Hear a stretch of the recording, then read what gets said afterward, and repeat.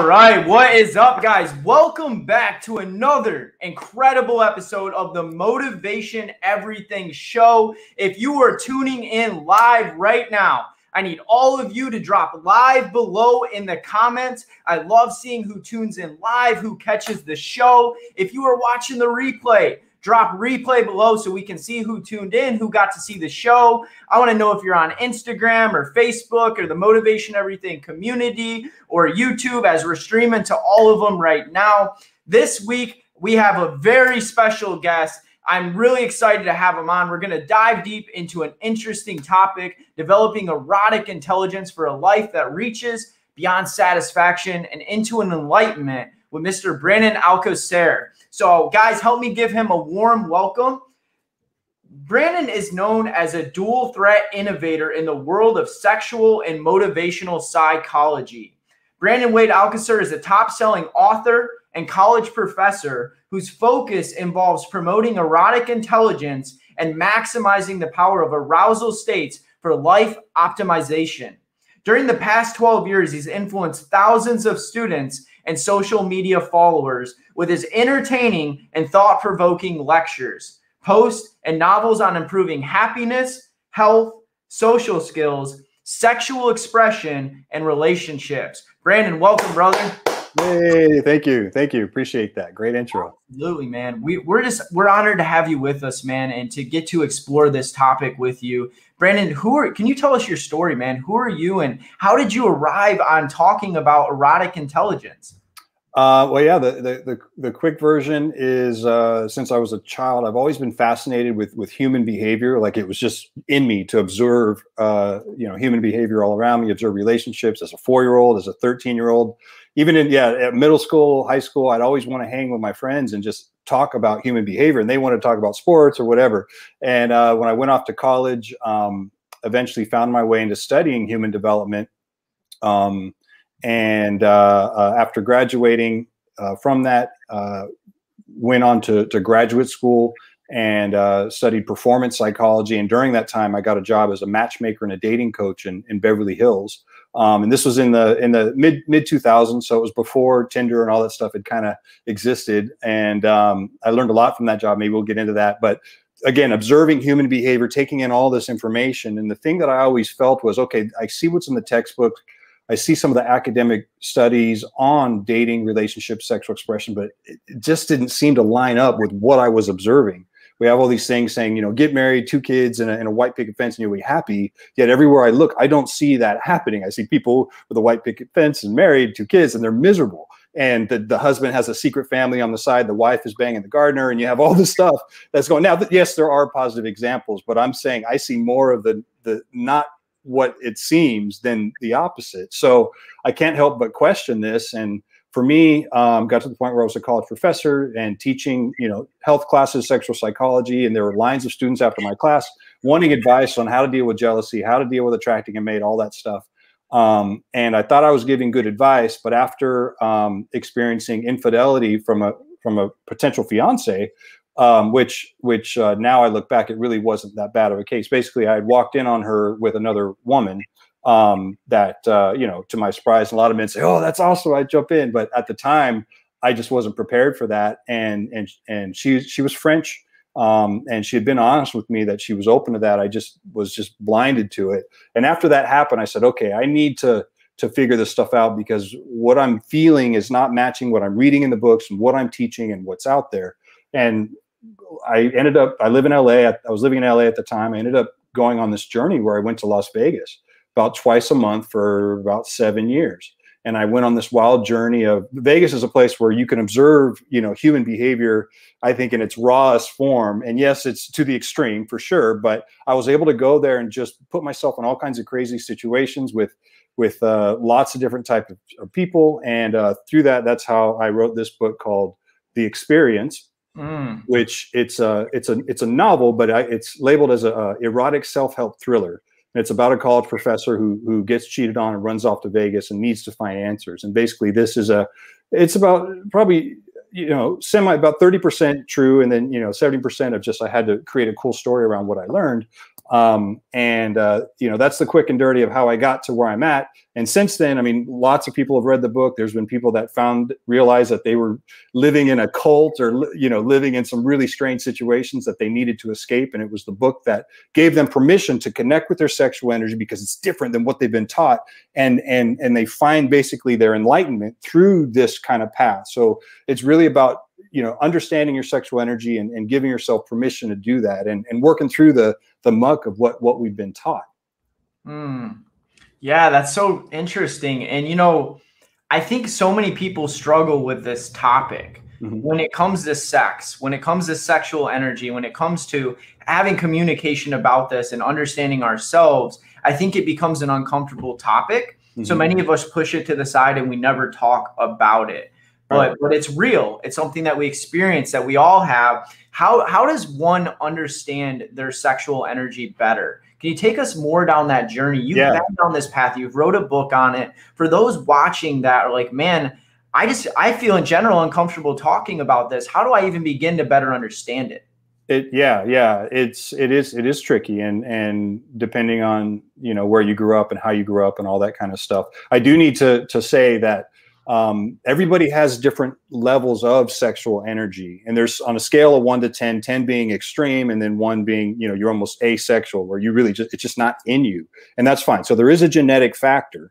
Um, people that are a 1 2 or 3 where it's just naturally very very low they might hear this conversation and they, they can't quite connect with it or they can say oh well that might apply to my friend but they know that they're pretty much asexual. And then there's the opposite where there's a people who are a 10 it doesn't matter what system they grew up in they're just going to be expressing themselves. And there are people who who seek careers in adult film or in the sex industry not because they have daddy issues but because it's an art form to them. And it, it's just in them to express themselves that way. So those are the extremes. My concern is the people that are in the middle. And if you're a five or a six or a seven you grew up in some system that taught you to repress it. That's where that's dangerous. That can lead to especially with men violence and a lot of depression and, and issues. Um, and so so keeping that in mind, you know, eh, for the listeners, think about okay, where am I at on that scale? And if you're somewhere in the middle where it's like, yeah, I don't quite know, cool. That then then this is you know definitely for you. So how does one know? Well, um, and eh, you know, there's a lot of it where it's just kind of in your gut. You, if there's something there, uh, but a, a big part is is I would say, are you connected to your shadow? Have you done any shadow work, exploring your dark side? Is there this urge for me it was this urge i'd never been in a strip club. And i'm a 29 year old college professor at the time and this there's a story in the book. I, I, I go to vegas i say all right you know what? I'm going to break some of my rules here and just just do this. I, I drive to a strip club i remember hearing an ad on the radio. I didn't have a ton of money and it says if you come to this strip club by 5 o'clock pm you'll get in free. And i thought okay well you know i'm just going to go there at 5 o'clock and maybe there's nobody there. I drive to the parking lot and i'm, I'm holding the steering wheel shaking and everything inside of me wants to go in the er, in the strip club just to see it, just to smell it. But my brain had all of this repression. Said, "No, you can't. You're bad. What if somebody sees you? You might lose your job. You might blah blah blah." blah. I'm like, and it's just people dancing and in you know, it's just humans showing their skin. Nobody's punching each other or anything like that. It's not violent. And so, but the key is that this urge, this little tinge of an urge, was there, and that's enough to to say, well, I might need to explore that and for everybody it's a little bit different but it, as you go through your day what's that little tinge of an urge? And and and see if that needs to be explored. In some cases you might go down that rabbit hole and, and maybe you walk in the club and say ah, i did it. Really wasn't for me. And at least i can check that off the list. Cool. Okay. Move on to the next thing. Now for me it opened up a whole new world and i realized oh wow. There's this force inside of me that i've been denying my whole life. And and it, i knew that i wouldn't know who i was unless i fully explored this force.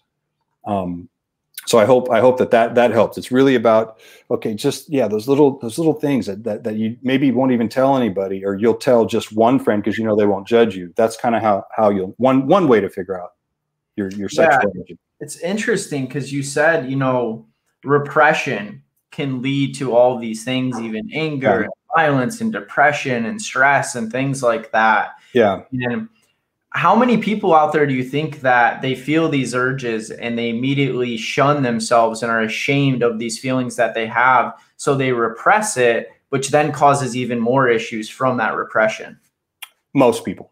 You know i mean it, maybe i might be exaggerating but 90% of humans, mm-hmm. I think. Um, and again, this is all assuming somebody is you know, over the age of 21. I think below that, you don't quite know what's going on everything. So adults, where we can we have enough life experience to get in tune with it. Um, uh, but the it, what's important is for people to uh, you know have have you studied the history of marriage do you you know and erotic intelligence is basically learning about the history of eroticism learning about your own eroticism and learning about how that it applies to human nature um, and so uh, you know there's a lot of work being done where they're studying bonobos and bonobos are like uh, basically orangutans um, we're a 97% genetic match dna match with with uh, orangutans and, and gorillas and things like that. Bonobos were a 99% genetic match. Um, and uh, the reason why, and I, I, know that that there there are you know religious people that might listen to this, and the idea of evolution is a little hands, and that, that's totally fine. You don't have to believe in evolution, but just pay attention. At least it's worthwhile to notice 99% genetic match. There's something there as far as observing their behavior that might apply to us. So with bonobos, um, uh, they are the friendliest of the primate community. They don't fight, they don't war. Whereas uh, uh, orangutans and everything, they'll rip each other's arms off, and the males are always fighting and battling to be the alpha and all this stuff. Um, whereas the bonobos are very, very friendly. They're female-led societies. They're female-led societies, and this has uh, sparked the belief that up until about ten thousand years ago, and you'll get about half the anthropologists who do buy this theory, and then the other half are they're not quite sure yet but up until about 10,000 years ago, most societies, human societies, were led by females. And mm. it was, and there was no evidence of war. There was no evidence of violence.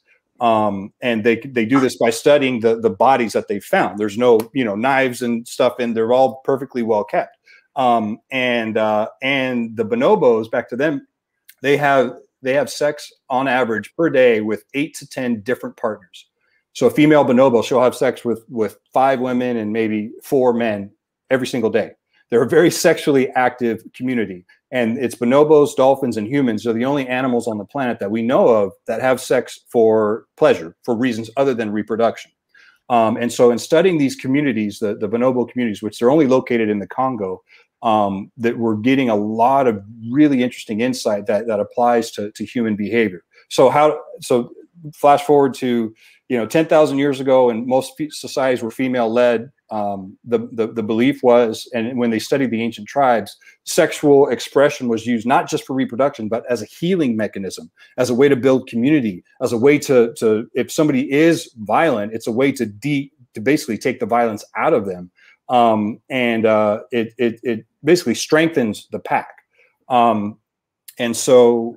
Uh, it was the invention of agriculture 10,000 years ago, where women were actually about the same size as men. Once agriculture came along, uh, the, the the the idea of owning a property was developed, and the the men uh, had to use a plow, which meant their forearms got bigger. They were able to take the power from the women. Oh, I need to back up. Uh, the thing that you'll observe in every primate society is the male monkeys or the male bonobos are always look, scheming to take the power from the women. They're always scheming to take the power um, and uh, they believe that this was also true in humans. And it wasn't until the invention of agriculture where men finally developed the strength to get the power from the women. Um, and uh, they, with agriculture, they started viewing. They, they said, "Okay, I have this property." Um, the men, I have this property. Who am I going to pass it on to? I need to know who my children are. Um, because before that, everybody was having sex with everybody. They knew who the moms were. They didn't know who the dads were. Um, and so they invented this concept of what we have today as, as marriage. Basically, okay, you two people, you have kids, and your kids, the offspring, will then keep this property once you die.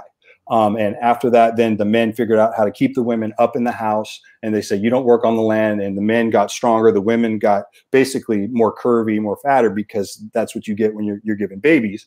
Um, and from that point, the men have had the power ever since and they put in all of these systems to guarantee that they keep the power forever. So that's where you'll see things like, oh, we must make sure that the women are having lots of babies and all this kind of stuff because it basically takes the power away from the women and keeps it on the men. So when you're seeing things like a sex positive society um, and the idea of sexual repression and all this stuff, it's basically a method to keep the men in power and keep the women uh, down low. Um, and I know I jumped all over the place on that, but but uh, uh, there's a lot going on with it's more than just what your parents taught you and what you think you should do or what you might be getting from from some higher up in in your uh, belief system Man, that's that's interesting. You know, Brandon, I've never heard that before.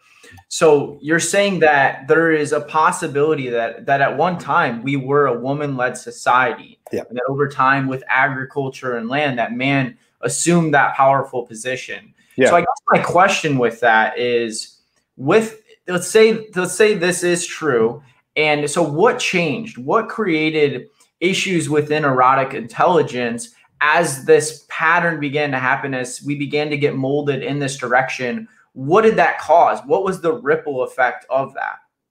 So the yeah the the there was a, a belief that if people were free with their sexual uh, expression, they would actually they would be more powerful and they'd be less uh, um, easy to control. And so, if you teach and you promote sexual repression, it actually it almost like kills, you could say, 40% of the brain to where they're not connected to that superpower makes people easier to control. And you can see examples of this throughout history. Um, Hitler did it really, really well. As soon as he rose into power, the number one thing he did was uh, make uh, all, all non marriage sex acts illegal, masturbation, you could get arrested for it, created a bunch of fear around sex. And, and when somebody is in that state, it makes their brain a little more easy to, to program to get them to do what you want because the brain is designed to go seek these these opportunities for not only reproduction, but even in the case of somebody being uh, uh, you know gay or, or, or or trans or whatever it might be, it's really for for human connection. So there's a lot of motivation there if you're in a position of power to keep your people away from knowing their their sexual self. Um, mm-hmm. And uh, uh, and unfortunately, this also is something that leads to a lot more violence too. You can get men to be a lot more violent if you promote uh, separation from their their, their sexual self. Mm, that's that's interesting. So, you know, we we live in a society where you you could argue this has very much happened, right? Mm-hmm. Sexual energy has very much been repressed, and and it's completely viewed in that point that you shouldn't be, you know, having sex with just anyone and doing this and that. And you know, as a spiritual man, I, I struggle, you mm-hmm. know, with this this this even this theory that we're talking about today but I'm, I'm I'm always curious to explore and go down this rabbit hole. You know, it's like how in what ways because like there's a thing that I've seen where I've met a lot of people in successful positions. Mm-hmm. And a common theme I've seen with successful men is they are highly sexed. Mm-hmm. And I'm curious on your theories behind this. When one begins to channel that sexual energy, how they can become more productive and successful in their life. Can you take us a little bit down why that is? What sexual energy does, erotic intelligence, and harnessing that instead of repressing it, and how that actually makes us be more us? Oh, this is a, a great question. And and the first thing I want to I also want to add to what I just said, and it's in line with this question, is I'm not saying that we all need to go out and start having orgies because that's the way the bonobos did it. I'm I'm I'm not saying that. If somebody is in a traditional relationship you know, and they want to save themselves just for their part. That's totally fine. Hopefully, this just gives you permission to know that there's power. Like you guys need to do, if it's in you, do some kinky stuff. Like explore it beyond just the basic, and know that sex shouldn't just be I get off, you get off. It's it's it's a healing practice. Oh, you're sick. Uh, the the Wendat tribe, which was based out of Michigan, um, this this Indian tribe up until the 1800s, they had this tradition. They are the the last female led society in America, especially with Indians um, uh, Native Americans, excuse me. Uh, they had the ceremony where if a woman or, or even a, a, male was sick, they put them on a throne in the center of their village, and all the women in the village would come around and and and they would the woman would the sick person would do some kind of thing, and poof, all the women would run off and grab any male of their choice. They'd come back, everybody would rip off all their clothes, and they would have this giant sexual act as a healing mechanism to the woman who's sick in the throne. And this is something a tradition they carried on for hundreds and hundreds of years. They wouldn't keep doing it if it didn't work. Now we didn't have we don't have a way to measure if it worked or not. But what I'm saying is there's something there that we're not tapped into as long as we keep promoting repression. Now, mm-hmm. the other side of this, and you mentioned businessmen. In my in my trips to Vegas, I saw many, many, many, many, many businessmen who were married, who were very, very wealthy, who were doing all kinds of stuff that quote unquote they they shouldn't be doing. There's a big difference between erotic expression for escapism and erotic expression for life well being. Mm. And that's the key point. So, so if somebody wants to to express themselves sexually, are you doing it for escapism, or are you seeking to improve the life of your partner and yourself? Are you touching them in a way that is again for escapism? Or are you touching in a way that you think what's beyond the the the wrist and and all the sensory responders in there that you know is igniting their brain and creating these fireworks that then help them help the food taste better the next day because of the sensory experience that you got them it's more than than than just reproduction and it's more than just oh an orgasm to give me a little bit of dopamine for a couple minutes there's a lot more to it um, so your your question with business um, or you know entrepreneurs um, I, I had a client I was coaching. Uh, she is a very wealthy uh, female entrepreneur, and um, she wanted to infuse sexual expression because she saw she could feel the power, but obviously she wasn't sure how she should bring that energy into a room full of CEOs of major major corporations.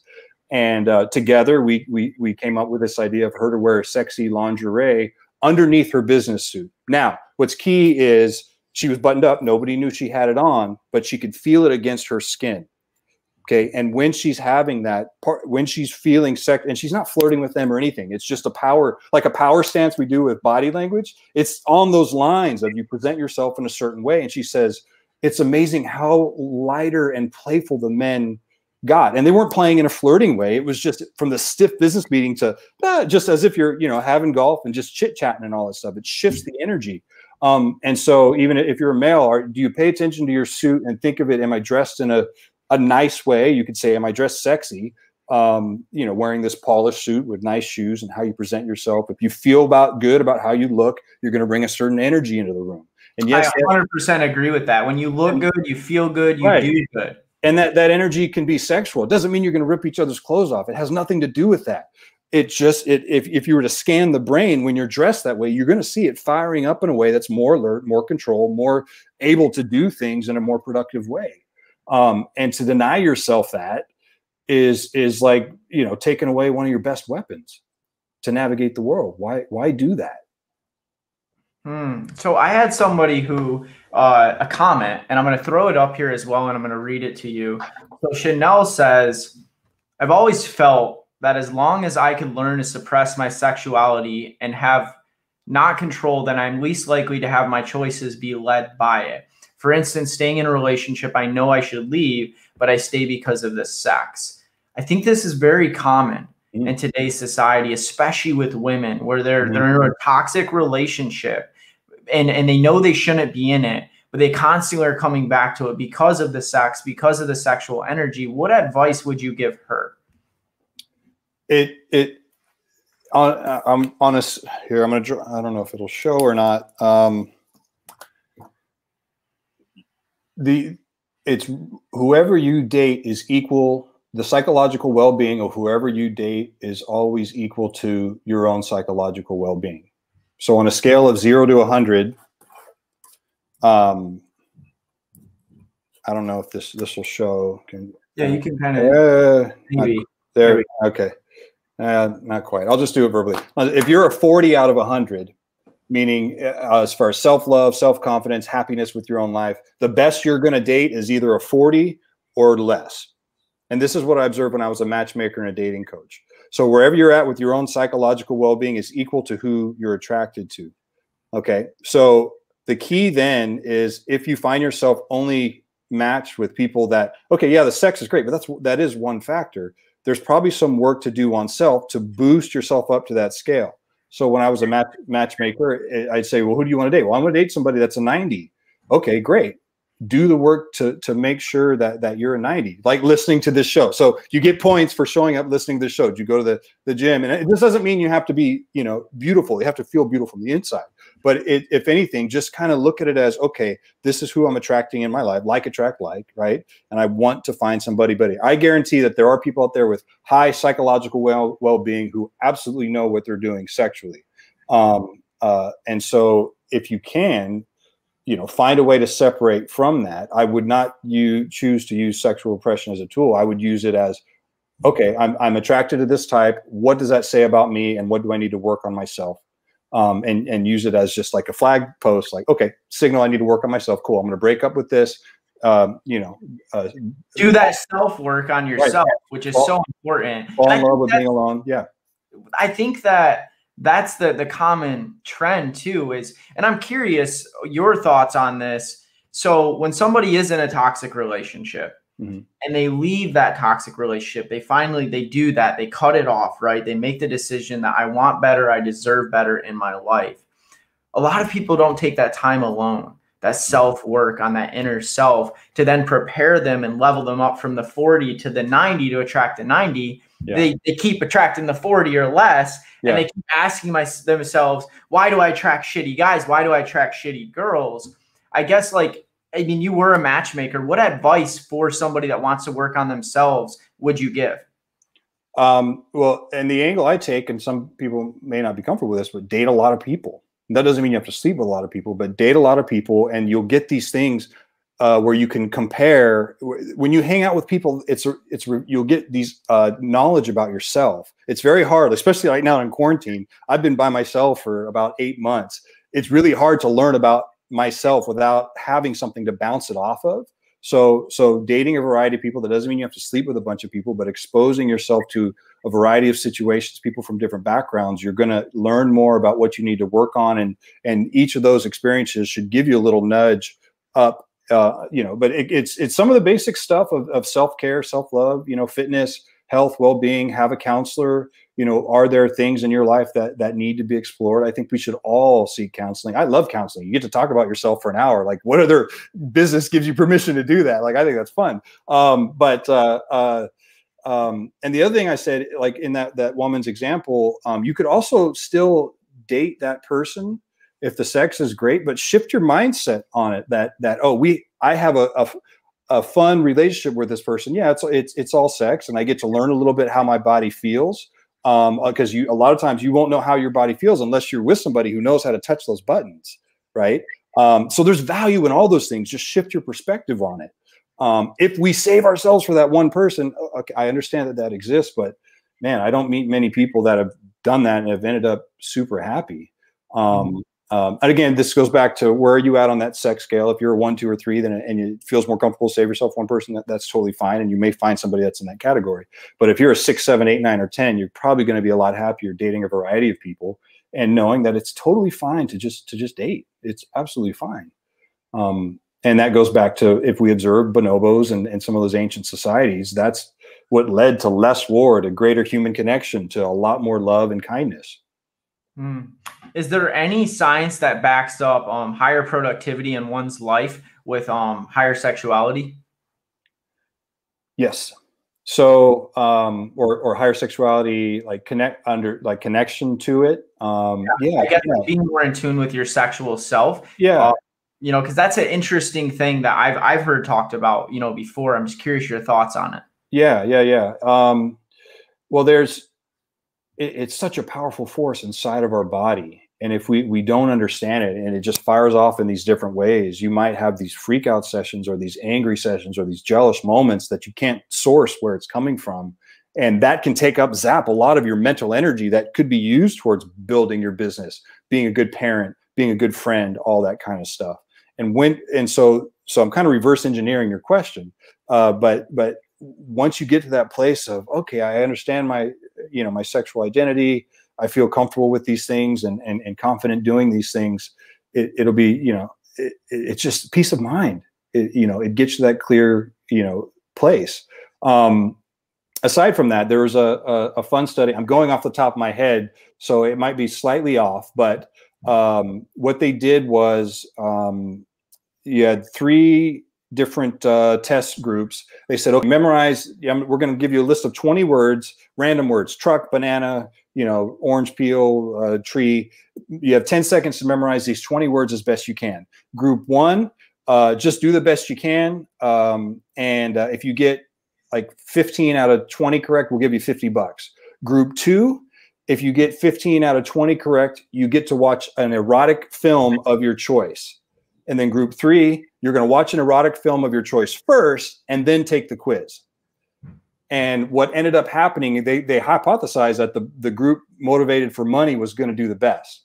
turns out they did the worst that that when they scanned the brain the group that was motivated for money you only saw a tiny part of the, the frontal lobe light up basically the rest of the brain wasn't really active because it was just focused on making money money is a is a newer thing our brain our ancestral brain doesn't really recognize money the way it recognizes sexual opportunities. Money has only been around for about 5000 years and the human brain to the best that we know is around 2 million years. Um, and so it hasn't evolved to really associate power with money. So um, uh, infusing so the, the group then that that had sex as the reward they did equally as well as the group that that had a, a, erotic viewing opportunity and then took the test. So both of these performed equally as well. And i mm-hmm. forget the actual stats but there's something there that that uh, our quote unquote sex brain has again powers that at least can help you memorize things in, in, in, a short amount of time. And and and with regardless of the study for those people who might be dating or even with your spouse when it's date night do you notice a certain level of kind of uppityness throughout the day? Especially if it's a brand new first date all of a sudden you, you know you're ironing your shirt and your house is a lot cleaner you're getting your hair done your nails done and there's this hyper focus that kicks in. That's the brain you know that i'm talking about versus oh i got to make money today i'm focused on sales. That's all willpower and dragging your feet. But when you figure out how to infuse the sexual energy there it's like this this boost that comes along with it. And again that doesn't mean you have to go out and sleep with a bunch of people. There's I, all i want you to people to understand is there's a source there to connect with. And mm. it's going to be up to you to figure out kind of how to do it in your style. Mm.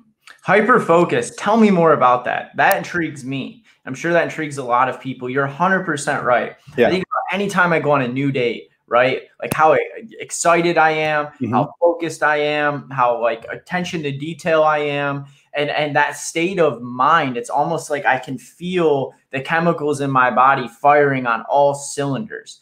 And I want more of that. Yeah. I think we all want more of that. We all want to be more, more focused, the best version of ourselves. Yeah. So repressing that, how do we tap into that more? Oh man, I got I have goosebumps from your question. That that's sign of a great question. I mean, I've had it a few times here. You're just man, you're hitting it. And I, I joke that man, if the the amount of energy I put into a date, if I could do that with a business, God, I'd be a billionaire like tomorrow. Like it's an ins- for me, it's an ins- it's a I don't want to say insane. I, I have a hyper amount of energy as far as the sexual stuff. So one, I haven't quite figured that out yet, to be honest. I think if you did, you would be a billionaire. But that's the whole thing, and, and, that's what this mission is. There's something there. How how can you you can relate to this? How do we make that into into the other parts of our life? And um, I wish you know I, if I could think of it. You know, if there was an example that we could explore, I might be able to come up with an idea. But off off the top of my head, I could just say that's my daily search is to figure the answer to that you know it's it's just interesting because sexual energy is the biggest driving force that we have. It's proven science backs it. Yeah. like it is the one thing that will get you more motivated than anything in this world including yeah. money. Like you said money's very new. You kind of helped me draw an example about how money's only been around 5000 years. Our brain's yeah. been developing for 2 million. We have three parts of the brain. We have that older primal brain. We have the midbrain and we have that you know neocortex or frontal yeah. lobe. And it's it's interesting because I guess I'm fascinated, and I'm sure a lot of people that are like being high performers of how do I channel that into other areas of my life. And I'm just curious, like I know that you might not even know the answer, but what what have you done that works for you, or what advice could you give us? Well, um, one angle, and and this I, I share this because I, I it's not actually studied. I'm just kind of taking tidbits of what's out there and, and infusing it. And I, I, like to think of myself as more of an innovator than just somebody that regurgitates the stuff that's out there. So this is the thing that I've kind of working on innovating is is incorporating. Um, I, well, I, here when when you and I chatted uh, before, um, you had mentioned you know like it's famous for boxers for fighters to not have orgasm you know the week before their event or whatever it might be. Yeah, they suppress and, their T. So yeah, yeah, yeah, and that that's one way. I would argue. As, uh, go especially off the example I just shared from the study that if the, let's say the fighter was married that what I would want to do if I was a trainer of this fighter is I would sp- speak to the wife if she's okay with this that look I want you guys to have sex um, and as you're providing him this erotic opportunity his brain's going to be lighting up wanting to memorize everything that's taking place in this sexual opportunity. Um, and he's going to close his eyes and visualize every step of the fight Mm. And when eroticism is is connected to memorization, it basically tattoos whatever you're thinking about onto your brain. And so, and I'll I'll ask the audience a question, and and and uh, to help prove this point, the the the fast food chain out here on the West Coast is called Carl's Jr. On the East Coast is called Hardee's, right? Right. Um, can somebody picture a Carl's Jr. commercial from 2016, just what five years ago? Okay, probably not. Think really hard. Okay. Now, can somebody picture a Carl's Jr. commercial from 2008? Is there anybody who could chime in maybe on the notes, whatever? What's the Carl's Jr. commercial from 2008? Maybe you couldn't figure out one from 2016, but from 2008, it's crystal clear. Hmm. Do you, does that ring a bell for you? You know, I lived East Coast where it was Hardee's. Okay. Back then, and so Carl's Jr. is a little newer to me, just getting out on the West Coast. All right. I, I, maybe Hardee's didn't have this commercial. I'm not sure, but it was very famous for having attractive women ride a bull and eat the cheeseburger on the bull. Did you see that growing up? I don't think I did. Okay, so maybe that's a West Coast thing. Um, uh, but the the idea is they stopped doing that commercial and they did it around 2008. So whenever I ask that question, people are like, oh yeah, it was it was Jessica Simpson riding a bull, eating a eating a, a cheeseburger, falling all over her face.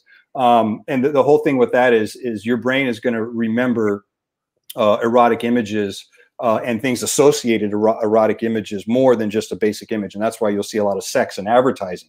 And so back to the fighter, I'd want him during an erotic session, his brain's firing, trying to memorize. Because what the brain wants to do is always guide you to reproduction opportunities. So it's taking in data. Okay, right now I'm having a reproduction opportunity. What are the things that lead to this? And and what's cool is, and this is my performance psychology background. When we do visualization, the brain doesn't really know the difference between the external and the internal. So if he's visualizing the fight while having sex and the steps of the fight, it's likely that that he'll perform better uh, during the fight, seeing things kind of happen in slow motion. So um, uh, I, I hope hope that makes sense. I wish my cards in here.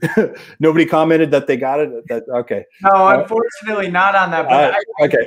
Sex does sell. That's yeah. why they used it for. So and, and I know people can at least relate to that. They've seen it in advertising, and even if, if you're not attracted, or if you know, uh, you know, Pepsi every year has you know Cardi B and and Nicki Minaj and Britney Spears and Cindy Crawford advertising their sodas, and most people, you know, um, it's easy for them to notice that. But I'm sorry, I lost the train of thought. I got the Carl's Jr. thing threw me off. no worries. I was like, no, my go-to move. Ah. no, it's good. It's interesting though how memorization is increased yeah. by eroticism, and and I wonder if moving forward as society continues to evolve in the rapid pace that we are, if we will dial in how to use that more and more to our benefit to to accomplish and do more. Oh yeah. Um, it yeah, I think so. Um, you know, one of the things that that is is going to be increasing, and again, I, it's very hard to do sex research, and so that's why for those of you who are hardcore kind of science, I need the facts, I need the studies. It I it's it's really hard to to piece together. Oh, I know. I was going to talk about masturbating um, on this in my answer to the last question, but I'll get remind me to get there in a second. Okay. Um, but uh, in, in studying uh, sex, it's very hard because when they do it at a university, they bring in students. They're in this stiff white room. They give them a survey to fill out. Well, these students, they don't know if their parents are going to see it or who's, you know, the dean's going to see this list, whatever. So they're not going to answer honestly. So a lot of the data that that these places are getting on, on sex is, is really not not that accurate. It's tough to study. But um, what's being developed are, for lack of a better word, sex robots um, and I know that that's a scary thought for some people. They they do exist, um, and they're getting real, real close to looking very, very human. Um, and the purpose, from an academic perspective, is that it'll help uh, with the research that you can put you know something in in a microchip in somebody's head and have them spend two weeks with the doll at home and they can analyze what was going on in the body while this erotic experience was happening and in a truly academic setting and for those of you say oh that's creepy i don't know look everybody has a sex robot in their home already it just doesn't look like one it's in the shape of a phone or a computer screen but um, uh, uh, you know, it's very, very, very similar. And and you know, and there's sex toys and all those kind of things, which which I think are again are important if you go into it with the intent of I'm using this to better my life. If you go into it with escapism or shame, it's just going to double down on that emotion. Um, and so, yeah, especially like with masturbation, one of the things that they have found in studying masturbation is it can lead to depression, it can lead to, to impotence and things like that if it's viewed as shameful. But when it's viewed as a productive thing, not sarcastically, legit, like I'm engaging in this act right now, I set the intention beforehand. Um, and so, and this is what I was going to share. One of the things I'm experimenting with is doing the visualization in an erotic state. So, for those of you who are curious about manifesting and, and really programming your brain to want things and to have a driving force, if you are setting down for a self pleasure session, as you get yourself aroused, the amygdala opens up and it's memorizing everything that's taking place.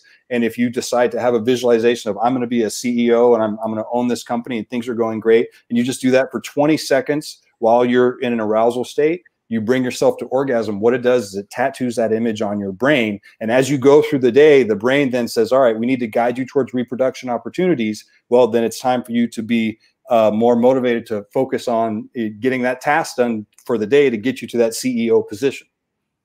Mm. Does, that, does, that, make sense? Yeah, it does. And it's, it's, I, I can see that because I understand that that part of our brain, like our body is designed for us to reproduce. Right. So anytime it's put into that state of arousal towards that, the brain is functioning at a higher level and capacity. And then you can almost trick it by yeah. using visualization, memorization, and things like that right. while you're in this peak state, let's call it, yeah. to then, you know, work to your advantage. And and yeah. it's interesting because I mean, it, people have been doing it. High performers have been using um, sexuality for to their advantage for a long time. Yeah. Mm-hmm. Yeah and and uh, I'm sure some of the you know the listeners are thinking about the Think and Grow Rich you know sex transmut- transmutation theory, um, which which it, it, can work, which is more of, of in a way harnessing your sexual energy and not using it in masturbatory uh, fashion or whatever to kind of let it build up and then there's a driving force for that too and yes that's that's one way if, if you want but i i would argue that you could you know it might be more effective to bring yourself to orgasm and to actually allow that stuff to be expressed. Um, again, um, there's a difference between if somebody's masturbating 10 times a day, that's addiction, that's misuse or abuse of the skill. If we're talking once a day, twice a day, fully intent to, to, to be better with it, then I think it can be a productive way. And I want to make sure that that's clear. But, mm-hmm. um, um, and if somebody, if they can't control, they're, they're better off just saying no um, like they can they have an addictive personality, then then the sexual transmutation might be a better tactic for them to to do the NoFap no uh, what's the non masturbation term, but, but to just ignore that and let it let it build up. That that's fine too. Um, but as long the key with all of this is are have you made decisions about your sexuality? Are, are you are you in tune with it? Do you know it? Or is it just kind of floating in the wind and you're just let kind of nudging it off to the side? Because then it's gonna it's gonna eat at you. It's one of the most important parts of our human experience and we should at least you know if you decide you know what? I'm going to become a nun and just totally cut it off for the rest of like oh cool cool. At least you made that decision. At least you're not on the fence right? Intention um, you know my yeah. theme for this year is intentionality. Right. How does one become more intentional about their sexuality? I think for the, the, for starters is to study, you know, the history to get a, a, different idea of what it's about than the mainstream of what at least in America, what we've been taught in elementary school and, and through our, you know, our parents or whatever it is, that the, the stuff that's coming out now that we have the ability and the, to, to measure certain things in ancient societies and all this, that there's going to be a new wave of, of how we view all these things.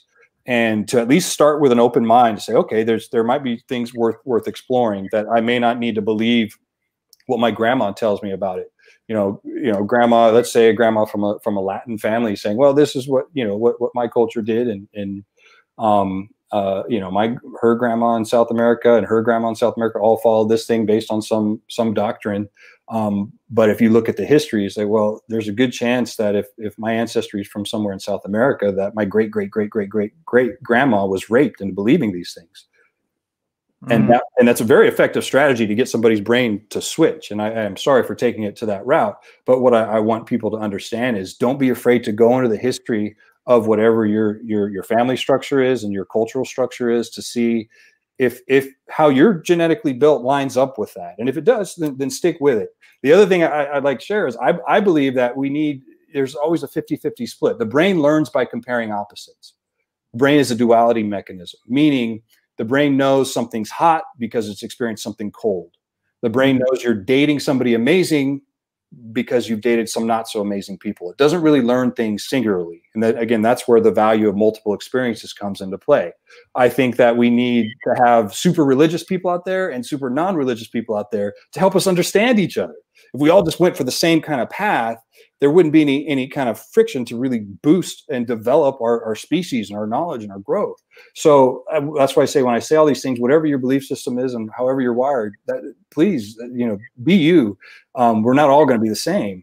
Um, but give yourself permission to at least explore. And if you if you do, and like back to my strip club example, you know, you go there and you realize it's not for you, cool, check it off the list, no big deal. But also, what happens is when you do that, you won't be as judgmental towards people who um, uh, might enjoy that activity of human beings touching each other for the exchange of money. um, you know, and a, big lesson I learned in my my whole my whole journey, you know, in in this is uh, I used to be very judgmental on people with tattoos. Um, I would find that God, how could somebody do that? And I didn't grow up in a religious system or anything. It was just there. I would be, you know, judgmental. And and on my 30th birthday, went to dinner with my mom and I was going through this huge life transformation and our, our server had a bunch of tattoos on her arm. My mom asked, you ever think about getting a tattoo? And I said, well, actually the last three weeks I've had a dream where I have one on my chest.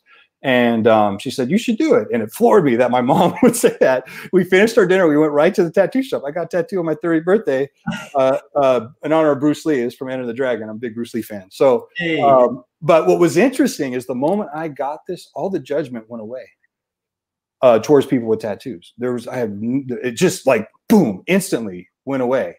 You know, and, it's interesting you say that. You know, I I'm inked up, and I I guess in my younger years I was judgmental of people with tattoos yeah. too. And so, with that, how does this tie to sex? Well, if somebody is very judgmental towards other people's sexual expression, it's possible that there's something in you that's not being released. I like to say there's an erotic ghost that's stuck in a cage inside of your soul, and you need mm. to free it to really know who you are. And it could be that maybe you're with a partner who who isn't comfortable with that, um, and it, it's up to you to either you know work on that or perhaps find find a different partner. Um, but we're going to be moving into an era that's very sex positive. There's a lot of polyamory talk now, and there's a lot of science being studied on on that, where you can have multiple relationships with multiple people at the same time. Um, and this is all stemming from the anthropological studies. It's not just, oh, I'm freaky and I need to express it. No, there's legit things going on of observing human behavior. Okay, these were how things were in the in ancient times. There was a lot less crime, a lot less violence, a lot less all this stuff. Well, maybe there's something there worth exploring. And there's still communities in the world that that have polyamorous relationships, tribal communities, and that are female led and that you know that are doing just fine. So again, if if if there's something in you, a twinge in you that needs to be explored, all I want to give people is permission to to check it out. Um, right. Um, it's so important. You know, you're um you're big on shadow work, and you know, what is the power of understanding your shadow? The shadow, yeah. So the, the the dark side. It's a you know a Jungian theory that we all have this part of ourselves that we're afraid to admit is there. Um, and for me, growing up, it was my my sexual self and and for those uh, strangest reason because i didn't have my parents were actually very free hey do whatever you want you know and just don't get arrested was kind of the rule i, I grew up with. But for whatever reason i i had this this a fear of of sexual expression um, was very judgmental towards people who were were, were sexual um, and so now I know that okay, that was because I realized there's this thing inside of me that is very, very strong. Um, that I, I I don't know how to make sense of it, especially as a teenager. Um, and and and to where I wouldn't touch. You know, I was just very kind of afraid to to get involved in that stuff. Um, and keep in mind, I'm not some you know out of bounds sexual being. I'm actually pretty vanilla when it comes to those things.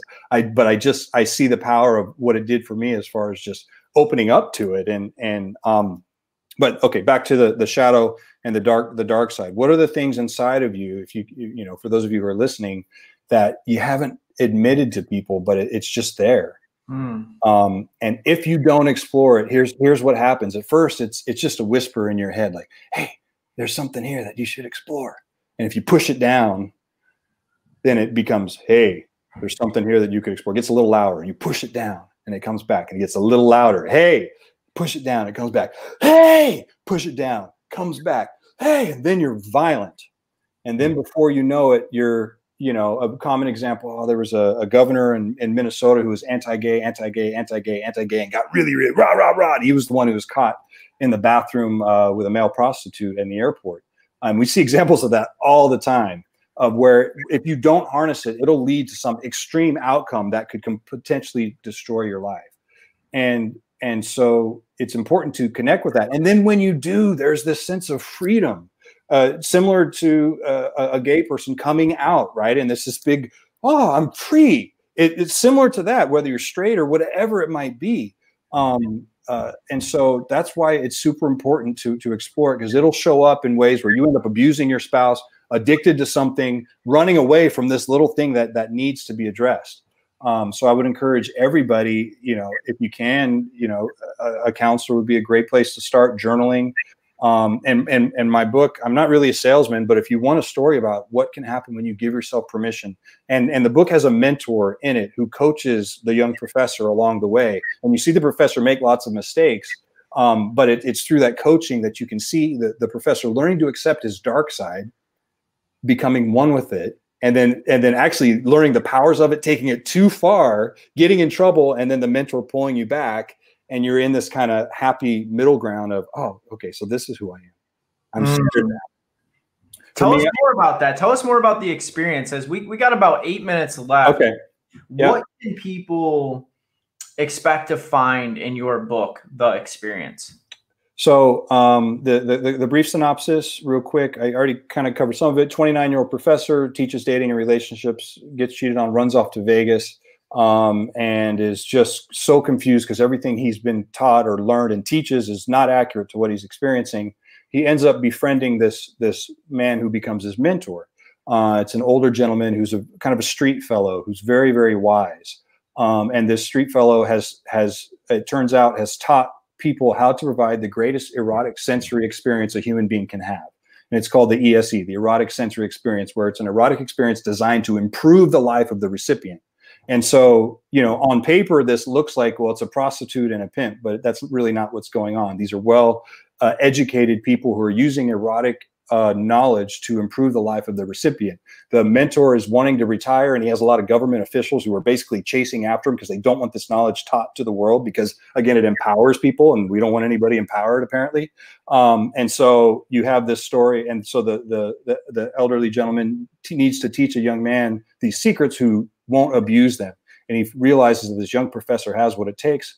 And so it's the trials and tribulations of this young professor learning all these tips and, and tactics and strategies on how to improve human beings' life through erotic sensory experiences. And what I mean by this is here's an example. Um, you, some people might hear, oh, you know, you know, what, what does it mean to spank your partner? Okay, and, and just for the sake of this example, let's say it's a, a straight male female. The female, the male uh, wants to spank the female. Why? Why are they doing that? most people say, oh, it's because they want to own their soul and dominate them. Well, uh, no. To enhance, to really get the brain active, going back to what I, the brain learns by comparing opposites. If it, if the, if you want her to feel the softness of the touch, you uh, apply a, somewhat of a stingy or a hard sensation. If you spank her, you're not spanking her to own her soul. You're spanking her so it stimulates the brain to recognize the softness of the touch that follows. And the idea is when you're focused on providing these things, you're so present in the moment. And the person receiving, they're not thinking about how am I going to please this person. You just, the person receiving is like you're getting a massage, you're focused on receiving. And then they're, they're the one who's providing it does these variety of things basically to wake the brain up, to wake the sensory response system up. And it leads to not only, yes, a great erotic experience, but for weeks that follow, the brain is kind of active in a way where the all the senses are kind of highlighted to where food tastes better, you know, flowers look prettier, you you smell things like it's just this whole thing that is dormant. Um, and so it's about the professor learning this skill set and then having to teach it to the world so people aren't confused about their sexual energy and they don't just see it as reproduction or escapism, but a tool for health, a tool for connectedness, a tool for for really you want to improve society, get that down and you'll improve one person at a time and then it'll just spread to you know to other people and so back to that young lady who was mentioning the, the you know the, the erotic experience she was having um, i hope to teach a lot of men and women this but women have a sense for it men need need to know um, and uh, uh, to really help them to understand there's a way to do this and improve somebody's life. There's a way to masturbate and leads towards life improvement. Um, if you have shame towards erotic expression, it can destroy everything. Mm. Um, and and and I'd rather guide you, have you guided towards enlightenment. So the story, it's super fun. Even if you don't like that stuff, there's people that they're asking, is this going to be a Netflix series? I'm, and this one has a male lead character. I'm almost done with the sequel. Has a female lead character, and she goes through a female version of this, learning about some of these secrets. And and it's actually a detective thriller where she's a detective, and and as she learns about her sexual self, she gets clues to solve the murder that she's trying to solve. Um, again, going back to how then the eroticism can enhance your brain function. So. Um, Man that's awesome. Yeah. You know, it's crazy. I, I, I see I see another book that you might have to write in the future and empowered through your sexuality. Mm-hmm. When you said the word empowered, it, it really stood out to me. Yeah. Uh, I think we're very infantile in our yeah. evolution as mankind and understanding our own sexuality. And I think that we can use our sexuality to empower ourselves even more versus repress repress it and feel shame and this and that um, I actually look forward to seeing society more become in tune with ourselves, better yeah. understand ourselves, our sexual energy, and how to become empowered through that versus the opposite. So yeah, that's just an idea to plant a seed in your head because you ultimately are showing people how to be empowered through sexuality. Yeah, yeah, yeah. I, uh, that's great. Yes, I'm, I'm, I'm with you on that. I'll be curious as the pandemic, you know, moves on, how the next phase of of human existence because at least for me, I haven't been touched in about 10 months, physically touched. And not just sexually, I'm just saying hugging one of my buddies, you know, like it's, and the book is about the power of human touch. Mm-hmm. Um, uh, it very much dives into that, that most criminals, they weren't touched enough as a baby, all that, all that kind of stuff that we know exists. So it'll be interesting how, as a society where we can't shake and hug just based on the pandemic, what the response is going to be after that. And, and, um, I think that people will will feel the tingles of hugging, you know, their buddies for the for the first time in a while, whatever it is, and and whoa, wow, there's something there. There's some sense of connectedness. I'm hoping that that can lead to, you know, yes, better better sex, but also just better connectedness with friends, and it doesn't have to be sexual. Just understanding the right, right, just in general, yeah, yeah, yeah. You know, it's it's interesting because I guess it could go either way. You know, being cut off for that long could even make us more repressed on yeah. that and people become less of not shaking hands not giving hugs I, am a personally like i'm a physical touch guy like that's yeah. my love language so yeah, like yeah. I ain't got someone giving me a hug or shaking my hand or rubbing my back now and then. Yeah. Like that's, that's that does it for me you know what i mean? Like so like for me that's a big thing but i see people i've heard people even say yeah after this i'm just i'm not going to shake hands anymore. And i just think it's really sad because we were created for connection. Yeah yeah, I, I will. I'll be spreading the message as best I can that uh, may not be a best strategy. I mean, I and I know they're coming from a, a, not wanting to get sick point of view, but um, right, which is understandable. I will say, guys, like yeah. I, you know, we got to we have to be smart and we have to work together. You know, to to overcome what we're going through, and and I'm yeah. an advocate for that. But I think that you know, physical touch is an important part of of who we are as human beings, and Absolutely. without it, it's interesting when you started talking about it's easier to control somebody the mm-hmm. more you take away this. Yeah. And, and that's that scares me. You know, right. you talked about what Hitler did when he took control. Right. I'm like, man, that's that's kind of freaky. When you yeah. really think about that, what better way to do that than to lock us all in our homes? Yeah. take that away from us. Yeah. Yeah. Yeah. Yeah. Yeah. So and for those of you who are listening, yeah, if this stuff opens up again and you're on the fence about touch, maybe we can nudge you towards getting back into touch. And I mean, it's got to the point where I'm taking showers just to feel something touch me, you know, and and and visualize. Okay, you know, so and and uh, and I say that slight jokingly, but but I do. I'm like, okay, at least we can touch right now, and right. not even not even sexually, like just to consciously feel something hit my skin, and then remind me that I'm a human and I I have value, and you know, and I have my role on this planet, and so, man, this is great, great stuff. Yeah, it's it's kind of funny. My my mom, she watches all my shows and she goes, "Very interesting topic. I enjoyed it." oh, cool. Yeah, well, just yeah, my mom hasn't read my book, but but she's she's gave it to all her friends. she, I don't want to read, you know, so I, I, I get it. So right on, mom. High five. I got you. Well, you know, as we're at the end of the show, um yeah. Brandon, how can first of all, where can we find your book at? How can we support you? How can people read the experience? Okay, so Amazon, um, it, uh, yeah, the experience. There we go. Um, if you type in the experience Brandon, it'll be it'll pop up and you'll see the girl's eyes. That'll you know. If you just type in the experience, I don't know, but type in the experience Brandon on Amazon. You can go to brandonwadebooks.com. That's my website, and it has the the link, a little bit of a breakdown towards me. Um, uh, uh, about me. Um, and actually, on the website, there's a, a, if you put your email in, and I hate those things where they want your email, but I don't email a bunch of stuff. It's just to let you know when my second book is coming out. But if you do do that, there is a PDF on um, basically uh, how to uh, use the masturbation manifestation technique that I described in this and um, um, and that's something that that's free if you want to check it out. But if you don't, that's fine too. Again, I don't do a bunch of emails. I'm not a big time marketer guy. I'm much more focused on the craft. And then uh, I, on social media, uh, Brandon Wade um, underscore author is my uh, my Instagram.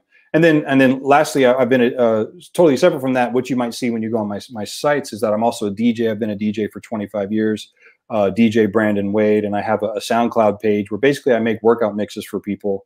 Um, and it just passed the 10 million download point um, this last week. So that's something that gyms all over the world are using these Don't things. Don't you do something more interesting though than just make? There's something special. We talked about this when we did yeah.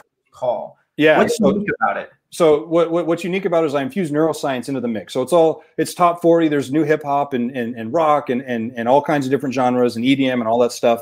Um, but what I do is knowing that nuance, nuance is the most important thing to trigger the brain to release dopamine. Nuance is where you take something familiar and you just add a little difference to it. So nuance doesn't mean totally brand new. It's there's something that you're somewhat familiar with and it has something unique about it again, bringing nuance to your relationships. Uh, for those of you who are in relationships with the sex act is a way to enjoy the sex by bringing in some new stuff. But um, musically, uh, what I do is I make what are called mashups, where you take the beat of one song and the lyrics of a different song, you put them together, and I put those in a mix. And so for people when they're going to the gym and they're doing the same thing they've done for a thousand times, when a new mix comes on uh, with a mashup of Aerosmith over, you know, Calvin Harris with with 50 Cent rapping in the background or whoever, or Pop Smoke or whoever, the brain goes just lights up with dopamine and that's what gets people you know addicted to fitness assuming they like the the, the songs that are mashed together.